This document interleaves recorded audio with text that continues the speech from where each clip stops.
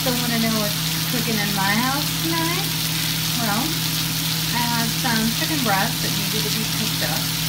So what I did is I took those and I just split them in half. It was just two chicken breasts. Cut them in half. I added some salt and some lemon pepper seasoning to those. And then a little bit of teriyaki sauce just right over the top. And that let's go ahead and add this because oh it just makes it yummy and sound good when I sizzle.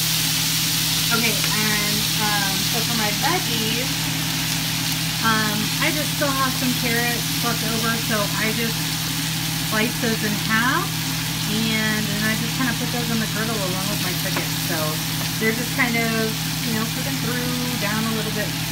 And then I also added um, a little bit of garlic underneath my bed of butter that I cooked my chicken on. So, you know, butter, garlic, chicken, and a little bit of glaze. Delicious. Um, and then I am taking a very quick store shortcut and you will see in this pot um, is that lovely boil in a bag rice. Um, and it cooks in about 8 to 10 minutes. It literally boils in the bag. Um, so it's just white rice, all it is. And so what I'm going to do with that is I'm going to take my lime. And you see I have my baby zester right here. Never laugh at my baby zester because she does great things. Um, but I'm just going to when the rice is done, I'll pull that out. I'm going to drain it off. I'm going to zest the lime and then I'm, I roll it to kind of get the juices flowing.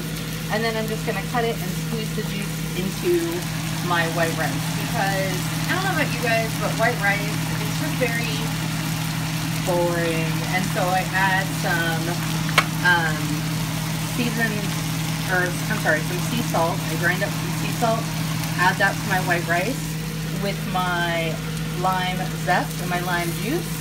And the lime along with the um, teriyaki and the carrots just kind of bring it all together, almost like a stir fry.